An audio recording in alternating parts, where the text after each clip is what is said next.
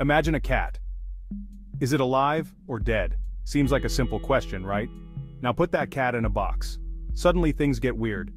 Welcome to the world of Schrodinger's cat, where the line between life and death blurs.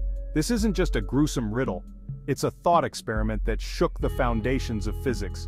It forces us to confront the strange and counterintuitive rules that govern the universe at its smallest scales. In the quantum realm, things aren't always as they seem. Particles can be in multiple states at once, defying our everyday experience. Schrodinger's cat is an analogy, a way to grasp these bizarre concepts. So, buckle up, we're about to dive into the subatomic world, where cats can be both alive and dead, and reality itself becomes a question mark. Let's explore the mysteries of Schrodinger's cat, and unravel the quantum paradox that continues to baffle and inspire scientists to this day. The 1930s was a time of great upheaval in physics. Scientists were grappling with a new theory called quantum mechanics. This theory described the behavior of matter at the atomic and subatomic level. Erwin Schrödinger, an Austrian physicist, was a key figure in this revolution. He developed a groundbreaking equation that described how the state of a quantum system evolves over time. But even Schrödinger was puzzled by some of the implications of this new theory. One of the most perplexing aspects of quantum mechanics was the idea of superposition. This concept stated that a particle could exist in multiple states simultaneously until it was observed.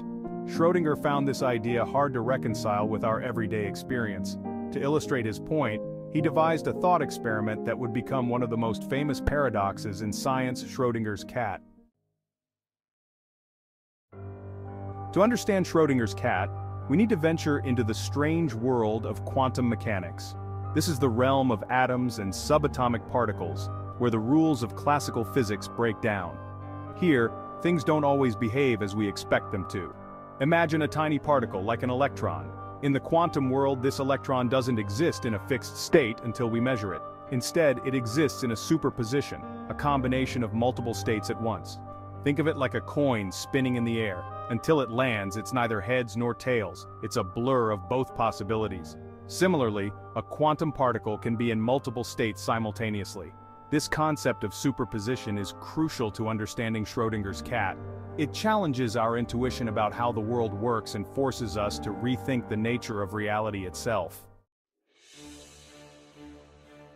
Schrödinger's cat is a thought experiment, a way for us to wrap our minds around the perplexing nature of quantum mechanics.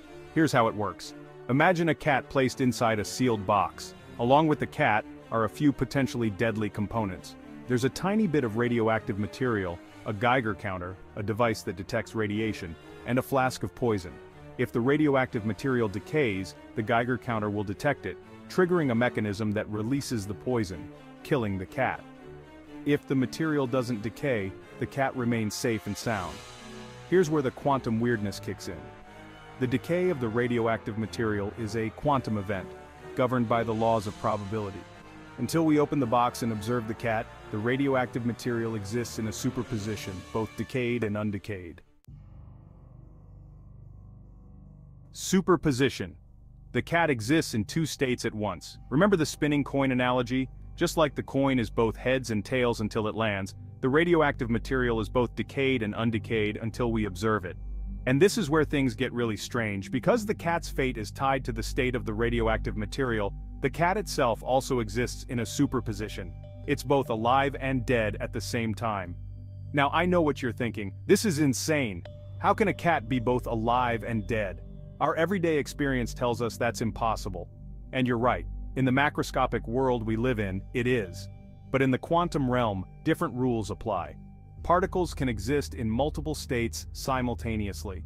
Schrodinger's cat highlights the bizarre implications of this concept when applied to the macroscopic world. Copenhagen interpretation observation collapses the possibilities. So how do we resolve this paradox? How does the cat go from being in a superposition to a definite state either alive or dead? The most widely accepted explanation is the Copenhagen interpretation of quantum mechanics. This interpretation states that the act of observation causes the superposition to collapse. In other words, when we open the box and look inside, we force the quantum system to choose a single outcome. The cat is no longer both alive and dead. It's definitively one or the other. But this interpretation raises more questions. What constitutes an observation? Does a human have to open the box, or would the cat observing its own state be enough? These are questions that physicists are still debating today. The enduring mystery questioning reality at the subatomic level. Schrodinger's cat is more than just a mind-bending thought experiment, it highlights a fundamental mystery at the heart of quantum mechanics, the relationship between the quantum world and the classical world we experience. How does the weird, counterintuitive behavior of particles at the subatomic level give rise to the concrete, predictable world we see around us? How does the act of observation collapse the wave function and force a quantum system to choose a single outcome?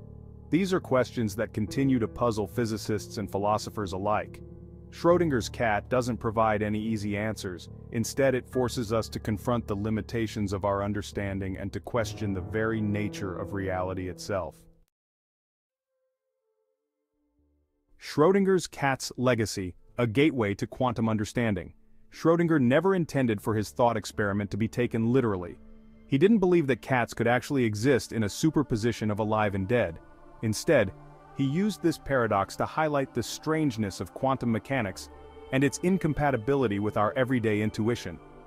But despite its absurdity, Schrodinger's cat has had a profound impact on our understanding of the universe. It has become a cultural icon, appearing in countless books, movies, and TV shows. More importantly, it has served as a gateway for generations of students and laypeople to engage with the mysteries of quantum mechanics. It reminds us that the universe is far stranger and more wondrous than we could ever imagine.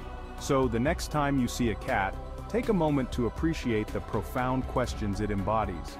Schrodinger's cat may be a thought experiment, but its legacy continues to shape our understanding of the quantum world and the very nature of reality.